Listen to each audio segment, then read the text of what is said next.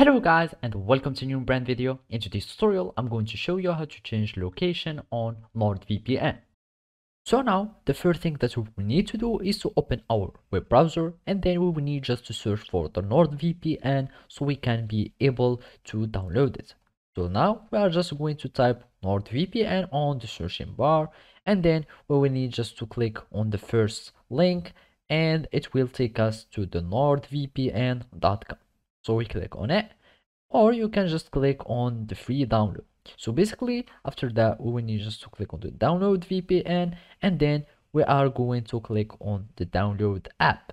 After that it will start to be downloaded and then we will need just to wait for the app to be downloaded so so we can install it on our desktop.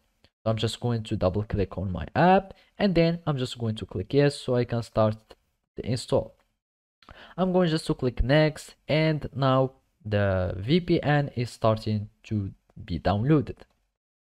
So now all we need to do is to finish our uh, installing. I'm just going to add desktop shortcut and I'm going to click, uh, click on install.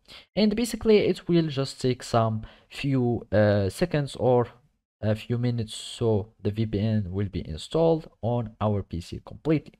So after uh, this bar is done. We will have our NordVPN that will be installed. So I'm just going to click and I'm going to launch our NordVPN and now all we, it remains is to follow these simple steps. And basically now you will need just to log into your account or you can just create a Nord account. So I'm just going to open our Google Chrome and you can log into your account and then it will redirect you to your uh, account here on NordVPN.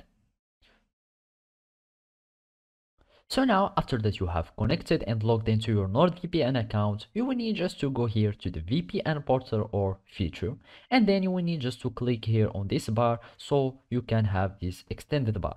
And basically here you can find all the location of the servers and also you can just try to uh, go to the map and start changing the map and you can try to change your location from the map. Otherwise you can just go to any location and go to its its servers and it will connect you to the fastest server of this region otherwise you can just go click on the three points action and you can try to choose an exact uh, server or a specific server. And as you can see we can do this for example this uh, for Finland or any region that has many servers.